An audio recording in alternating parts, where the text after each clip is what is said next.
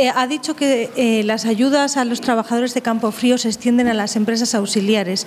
No sé si tienen un número, igual que los 774 que se van a beneficiar de Campo Frío, un número aproximado. Se lo pueden, se lo pueden facilitar. ¿eh?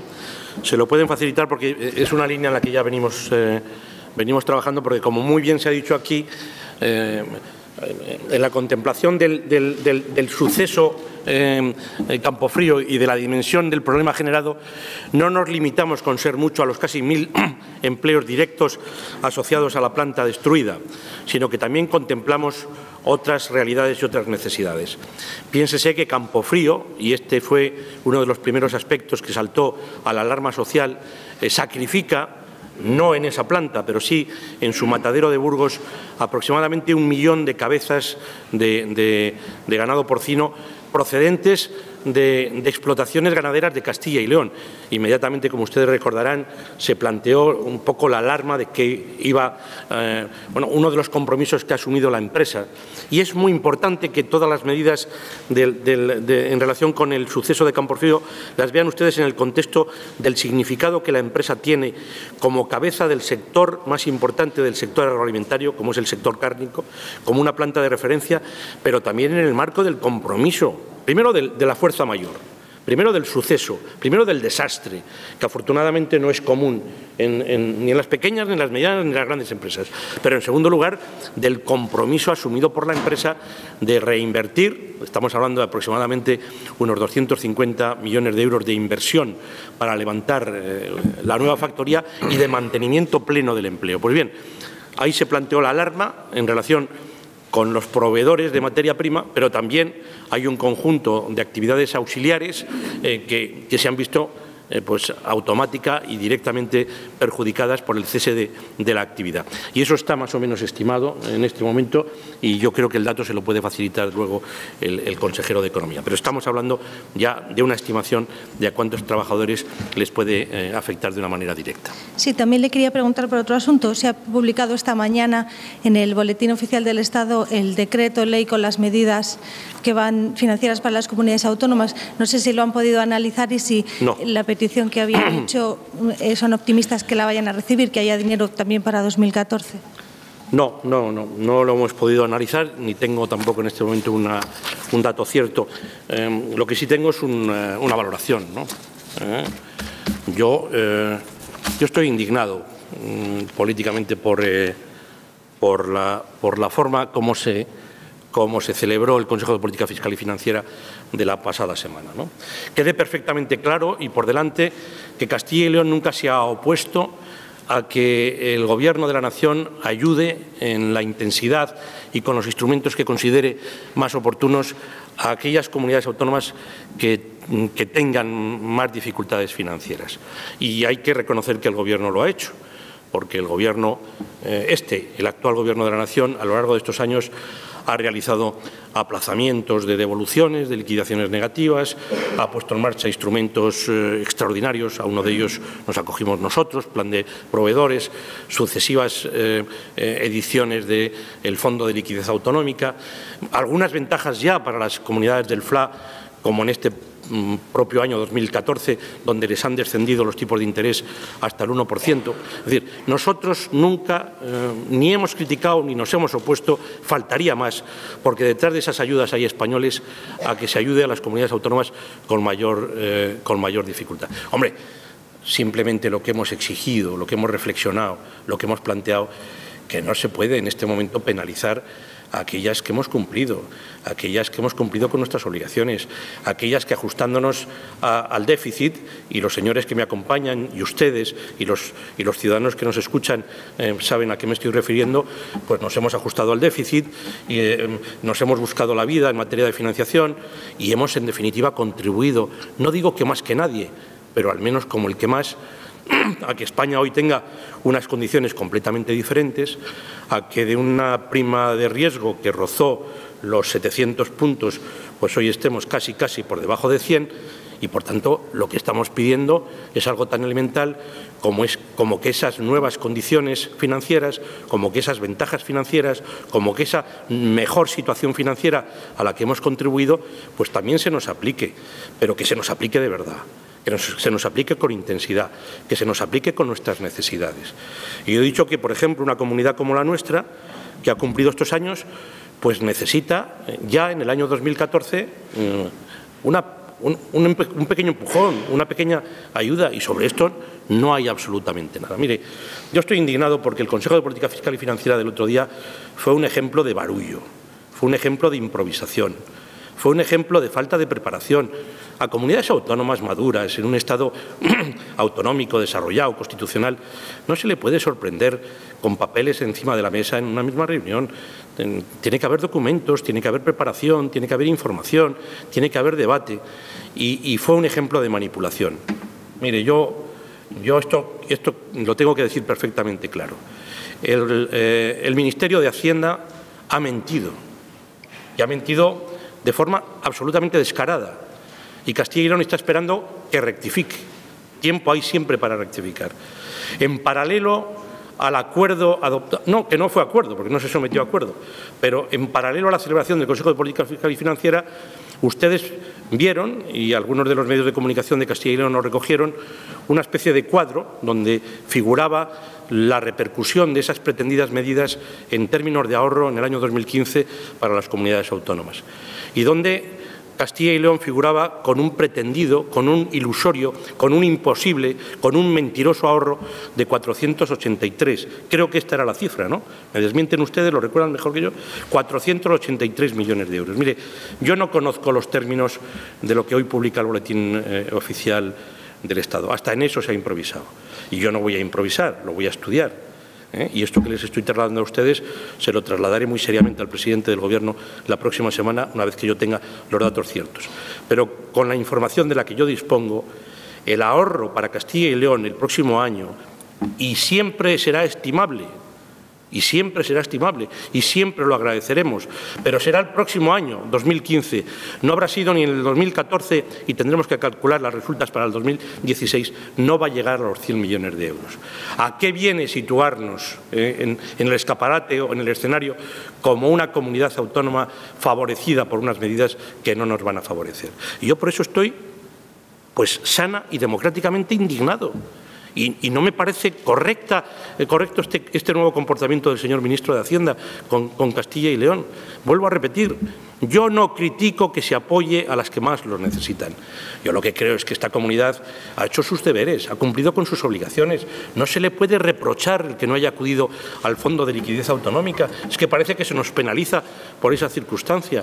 Yo, sin duda alguna, es algo que no entiendo, que no voy a entender y, que va mucho más allá de mi, de mi identificación con el signo político del Gobierno y del señor ministro y del señor ministro de Hacienda. Y nosotros hemos planteado algo muy claro Mire, no por casualidad, el mismo día que se tomaba esta decisión, aparecían ya en datos del propio Ministerio de Hacienda y Administraciones Públicas, eh, datos cerrados al mes de octubre, eh, dentro de las comunidades que ya no cumplían el límite del 1% del, déficit en el año 2014, cuatro comunidades que hemos estado luchando con nuestros propios medios para no tener que recurrir al FLA, para no complicarle la vida al Estado ni a las comunidades autónomas que tenían que recurrir al FLA.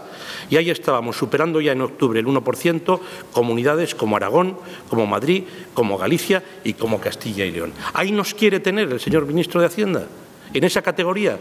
Luego el ministro de Hacienda, que ha ayudado, y me parece estupendo, ya en el año 2014 a las comunidades del FLA aplicándoles una reducción muy estimable de los intereses, lo que tiene que hacer es atender también a nuestra propia situación, no colocarnos en el despeñadero de, este año no poder cumplir, año todavía vigente 2014, nuestras obligaciones, porque en esta tierra hemos cumplido con nuestras obligaciones y porque en esta tierra hemos sido muy serios y muy rigurosos. Y lo único que estamos pidiendo es que no se nos penalice por haber sido mm, ortodoxos, que una cosa es ser ortodoxos y otra cosa ser tontos, que una cosa es ser buenos y otra cosa es ser tontos, que una cosa es ser leales y otra cosa es ser tontos. Y yo desde luego le digo desde aquí al señor ministro de Hacienda que no, que esas no son formas de tratar a una comunidad como la nuestra. Y que, por cierto, rectifiquen hoy mismo el dato de su estimación de las resultas.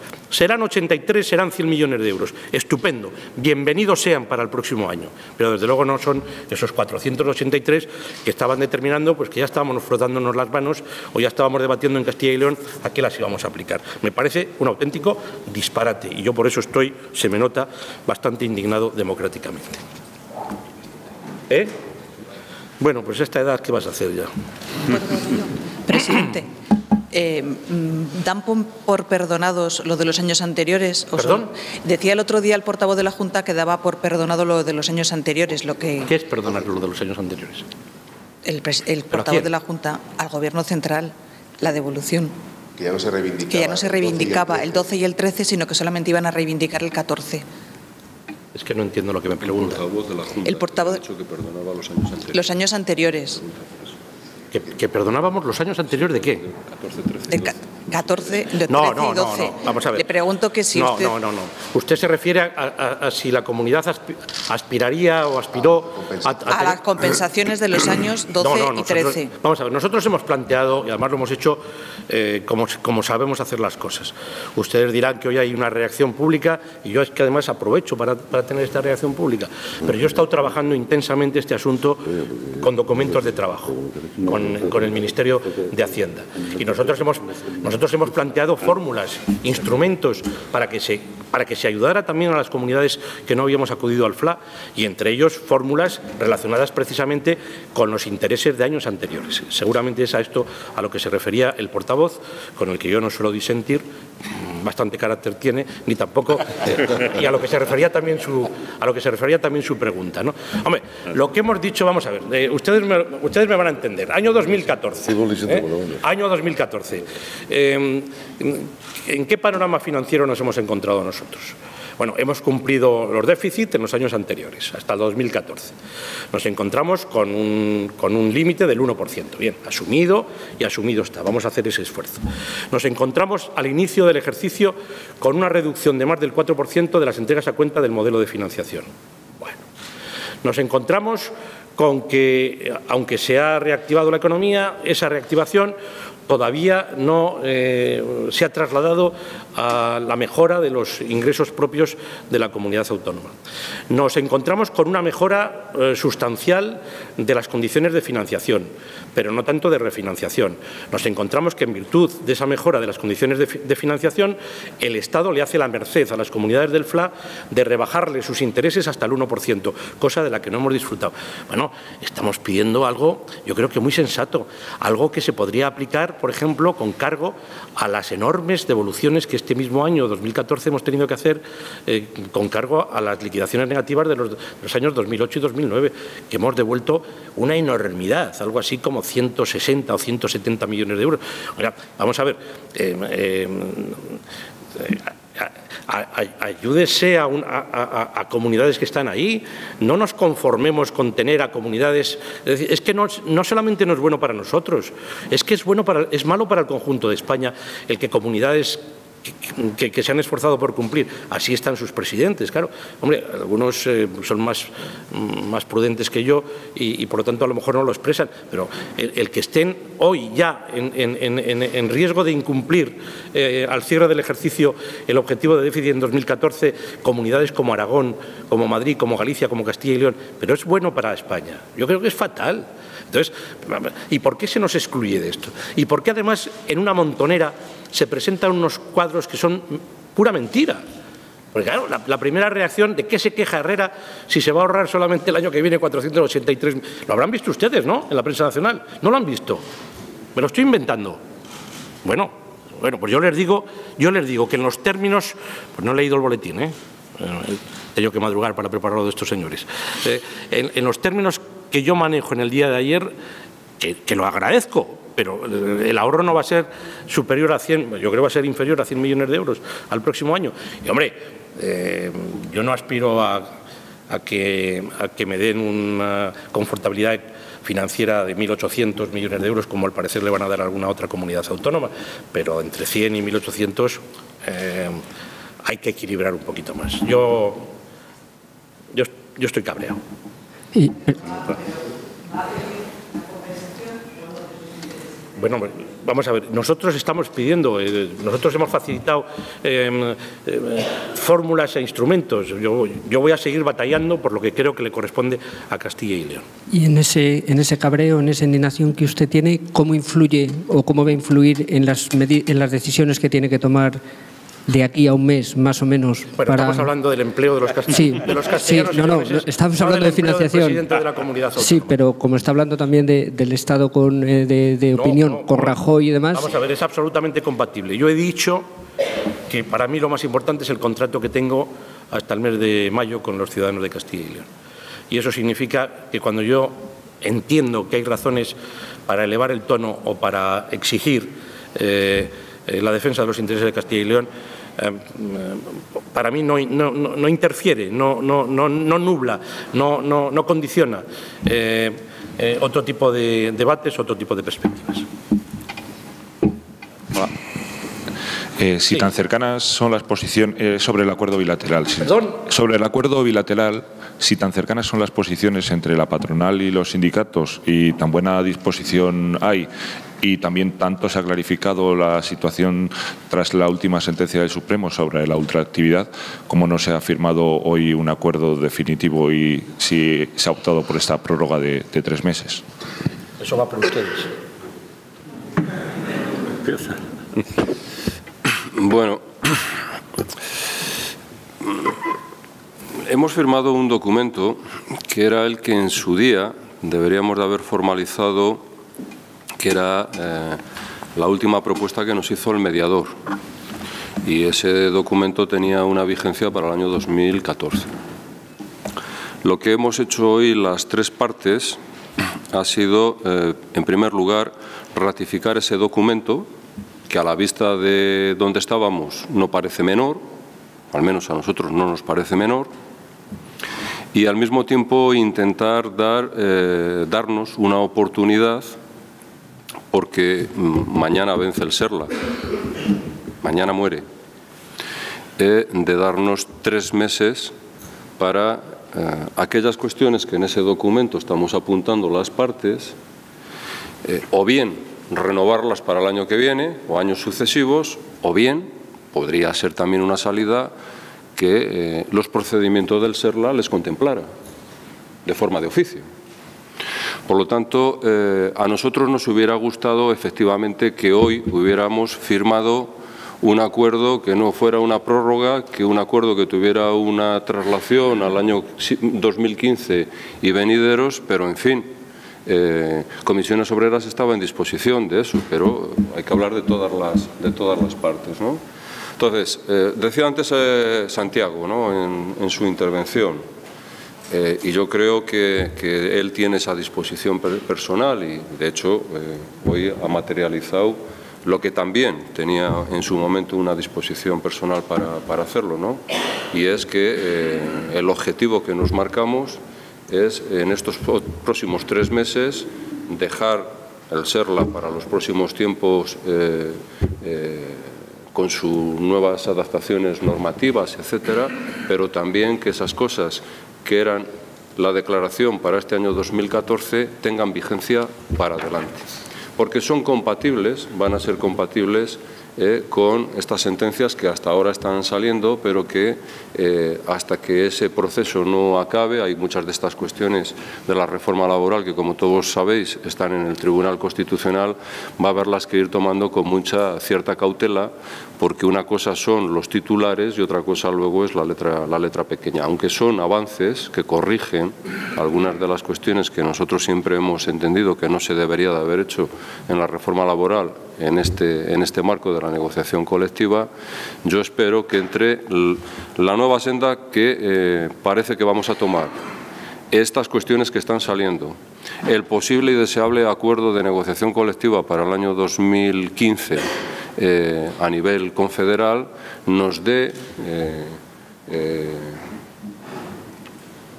un ámbito en el que eh, nos sentamos todos mucho más cómodos y por lo tanto desatasquemos eh, esta situación bastante anómala, anómala de, no alcanzar acuerdos bilaterales cuando estamos hartos de firmar acuerdos tripartitos. ¿no? Entonces, esperemos que esta sea la definitiva, pero esta es también la voluntad de comisiones obreras. Yo creo que Ángel lo, ha comentado de una manera bastante, bastante correcta. Yo creo que bueno, el documento que se ha firmado hoy es un, es un documento que yo creo que estaba total y absolutamente claro ya en su momento. Eh, en su momento hubo algunas dificultades dentro de, nuestra organización, pero que esas dificultades ahora mismo se han visto, se han, superado y sí lo que nos parecía era precipitado quizá era el, seguir con una eh, negociación eh, para firmar de deprisa y corriendo en dos o tres días.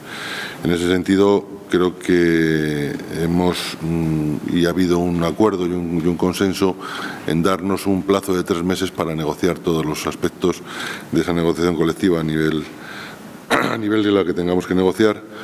Eh, y, a partir de ahí, bueno, pues eh, la prórroga del SERLA, que bueno, creo que es una institución eh, la cual le debemos mm, bastante en la comunidad, tanto empresarios como sindicatos, por la labor de mediación y arbitraje que ha hecho en, bueno, pues en más de 400 y pico eh, bueno, expedientes que ha tenido que, ver durante este tiempo y que ha solucionado el, el, problema de esa negociación colectiva a miles de trabajadores y a cientos de empresas. En ese sentido, eh, esperemos que estos tres meses, que creo que van a ser intensos, no van a ser fáciles en la negociación, pero que creo intensos, lleguemos a ese acuerdo que nos debemos dar.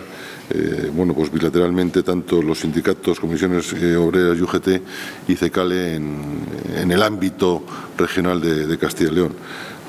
sinceramente les digo que, bueno, por, mm, por nuestra parte, eh, bueno, vamos a poner todo, todo nuestro afán y nuestro empeño en que eso suceda así y llegar a ese acuerdo.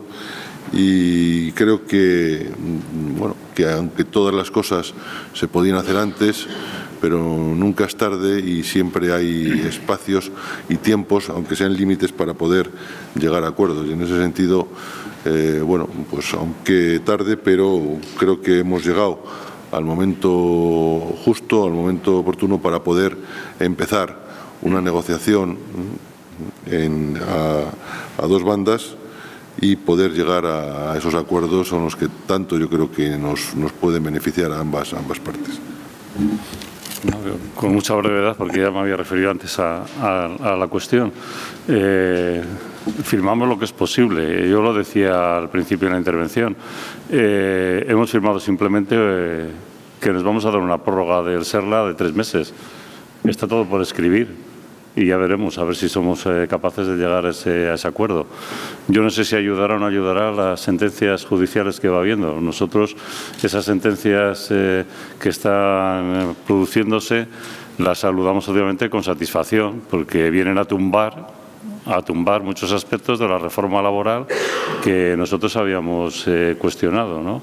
y la dejan obviamente eh, tocada en esos aspectos, ¿no? Pero bueno, independientemente de lo que digan los jueces, Creo que las partes tienen una obligación, los empresarios y los representantes de los trabajadores, de llegar a acuerdos. Y yo creo que debemos de darnos esa oportunidad de llegar a acuerdos. Y en ese sentido, yo con la firma de hoy, simplemente como punto de partida, satisfacción porque iniciamos un proceso, creo que de buena voluntad por todas las partes, para tratar de llegar al acuerdo en tres meses. Y ya veremos, a ver si se puede llegar o no se puede llegar. Pero obviamente eh, está por escribir. Muy bien. Sí.